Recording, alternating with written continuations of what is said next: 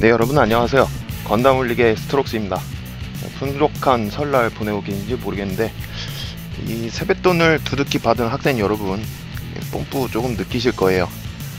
어, 설 연휴에 방콕 하시는 직장인 분들께도 아마 뽐뿌를 불러 일으키지 않을까 싶은 녀석으로 찾아뵙게 됐습니다.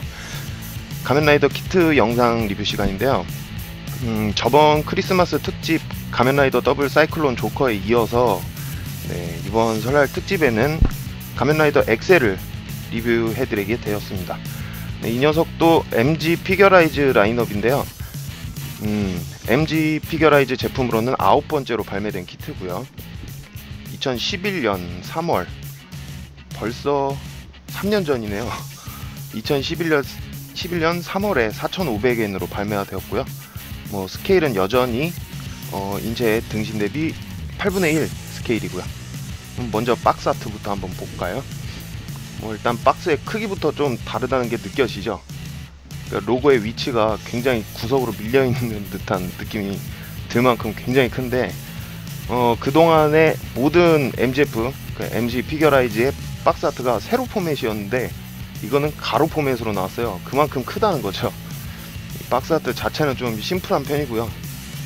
근데 이 엑셀이 서 있는 포즈 옆에 뭔가 되게 비굴한 포즈로 이렇게 엎드려 있는 바이크가 찍혀 있는데 이 모습이 있다는 거는 변형 gimmick이 들어있다는 거를 유추해 볼 수 있죠. 박스 양 사이드 정보를 한번 공유해 볼게요. 뭐 공통되는 멘트들은 여전히 다 있는 것 같아요. 물론 이쪽 박스 아트 레이아웃을 짠 분도 포맷이란 게 있을 테니까요. 간단히 읽어드리자면요. 어, 가면라이더 엑셀이 8분의 1 스케일의 궁극의 피규어 프라모델이 되어서 등장했다. 어, 바이크 폼으로의 초절 변신, 초절 변신도 실현했다. 그리고 바이크 폼으로의 변신을 다채로운 기믹이나 파츠의 일부 교환으로 실현. 타이어는 고무 소재를 사용. 뭐 그 외 등등 전부 그림 보시면 아시겠지만 바이크 폼 변신에 대해서 그냥 열변을 쏟아내고 있습니다. 그만큼 어, 고민을 많이 하고 궁리가 많이 된 기믹이라는 거죠. 그만큼 어필하고 있으니까 피살기 가운데에는 아주 그 유명한 장면이 나와 있죠.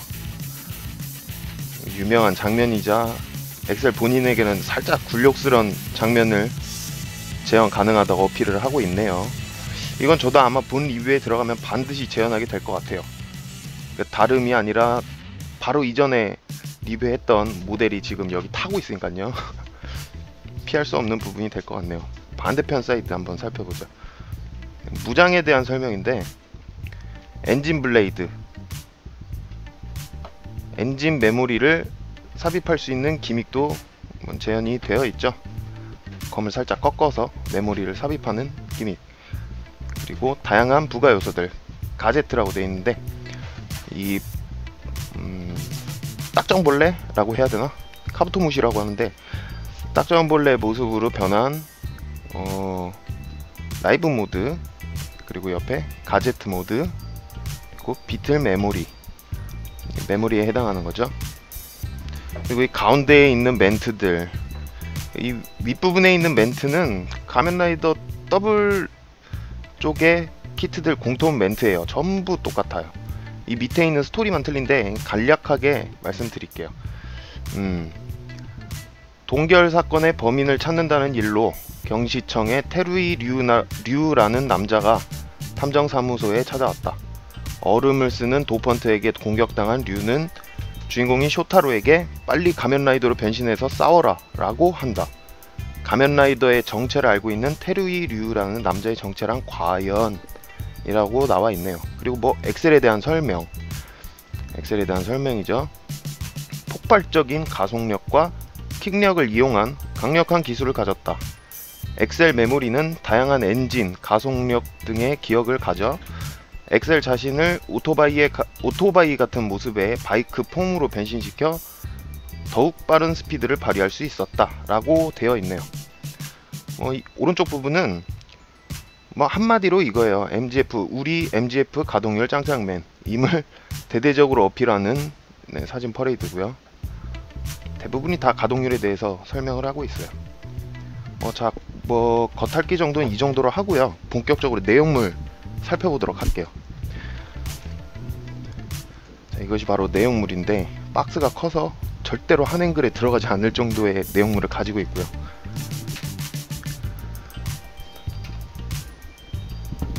내용물을 음, 일단은 가장 한눈에 보기 쉬운 스티커부터 살펴보도록 합시다. 스티커인데 뭐 심플하다면 심플하다고 말할 수도 있겠어요. 구성은 다행인 거는 더블 시리즈에 반드시 들어갔던 그 얇디 얇은 얇디 얇은 띠 형태의 스티커가 없다는 건데 진짜 저 붙이다가 정말 뒷목 잡고 쓰러질 뻔했었거든요. 한두 번이 아니었는데 다른 건 몰라도 이게 스티커 붙이는 거는 몇 배 수월할 듯 보이는 그런 구성입니다. 메모리에 붙이고 그 무장에 붙이는 게 거의 다라서 음, 스티커 부분은 뭐 지금 이렇게 보여드리지만 걱정할 부분은 아닌 것 같네요. 그리고 바이크 바이크로 변신했을 때 교환 파츠로 쓰이는 안장 안장 부분 딱 봐도 그냥 텐덤이 보이죠. 뒷좌석까지 이렇게 딱 성형돼 있는 그런데 특출나게 짚고 넘어가야 될 부분 중 하나가 이 표면 질감까지도 표현을 해놨어요. 텍스처가 들어가 있는데 이게 매끈한 사출 성형이 아니라 아주 균일하게 particle이 들어가 있습니다. 조금 리얼한 느낌이 들죠.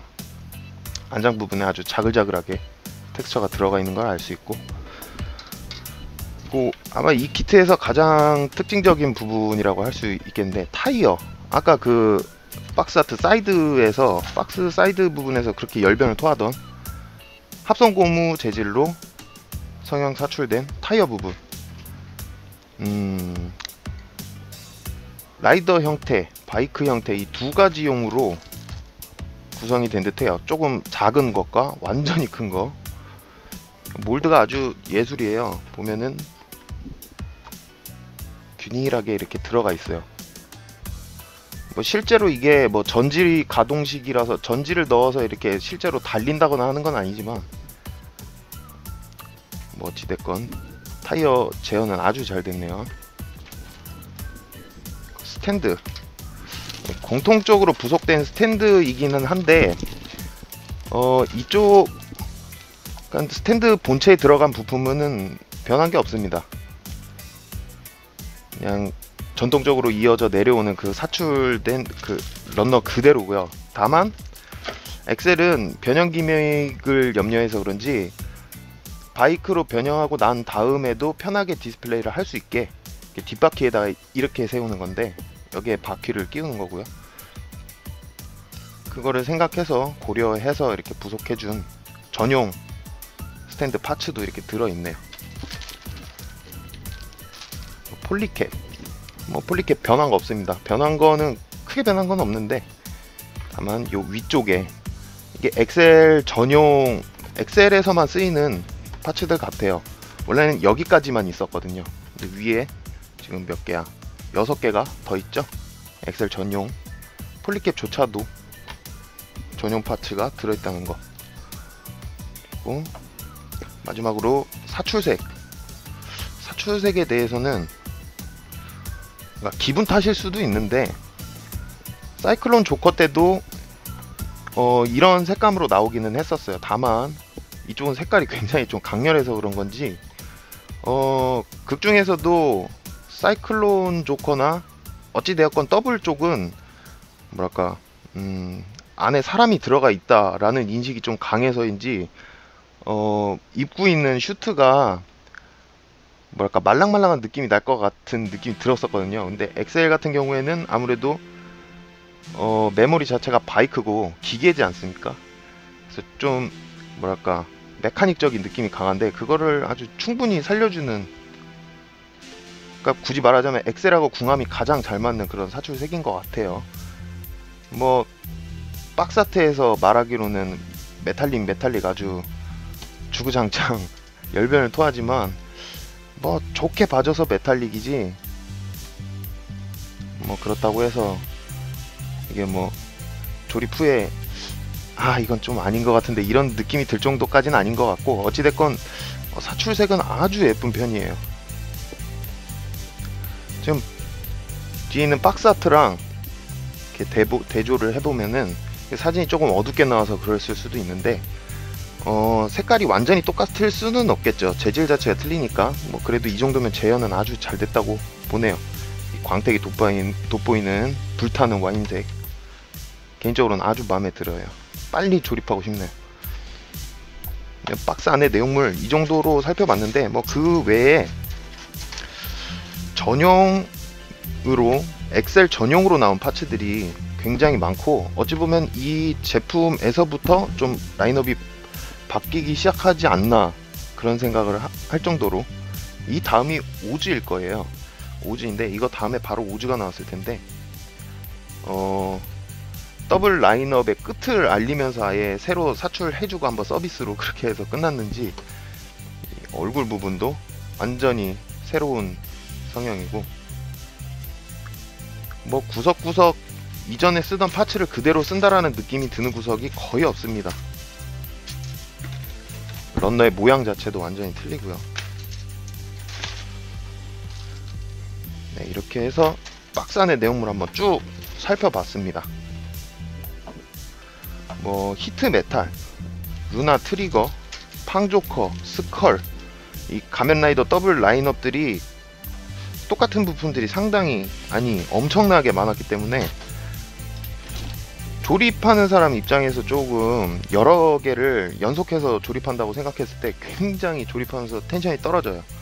그런 경우가 있는데 이 엑셀 같은 경우에는 대부분이 신규 조형이고 이런 것만 봐도 좀 어디 가서 이런 parts 보겠습니까? 게다가 변형 gimmick까지 있기 때문에 정말 조립 자체가 기대되는 바입니다. 네, 박스 박스 오픈 리뷰는 여기까지고요. 어, 완성품을 가지고 곧바로 다시 본 리뷰로 찾아뵙겠습니다. 많은 기대 바라겠고요. 네, 저는 스트록스였습니다. 지금까지 시청해주신 여러분 감사합니다.